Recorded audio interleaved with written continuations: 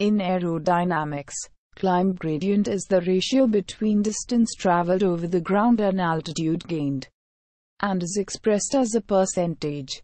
The angle of climb can be defined as the angle between a horizontal plane representing the Earth's surface and the actual flight path followed by the aircraft during its ascent.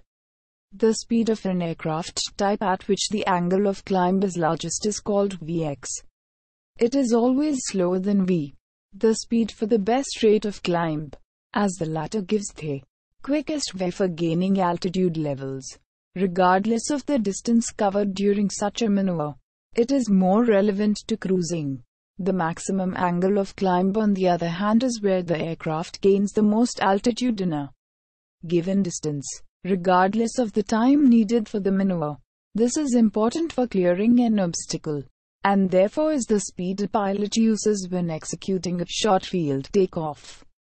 Vx increases with altitude and Vy decreases with altitude until they converge at the airplane's absolute ceiling. Best angle of climb by speed for an airplane is the speed at which the maximum excess thrust is available. Excess thrust is the difference between the total drag of the aircraft and the thrust output of the power plant.